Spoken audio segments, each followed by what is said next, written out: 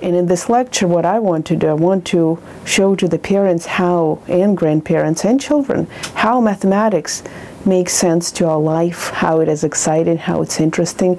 We have to remember today technology offers to us so many opportunities to engage in math in a very fun way. For example, playing with Sudoku. A lot of people think that Sudoku is just, oh, it's just a game. No, it's a mathematical game. And how do you figure it out? A lot of puzzles that some people love to play, you might find them at the end of the newspaper or in some other places, but those puzzles help you develop logical mathematical thinking. But I think if the only thing you do is memorization, you kill the fun of it. So for example, 3 times 9 is 3 minus 1, 2.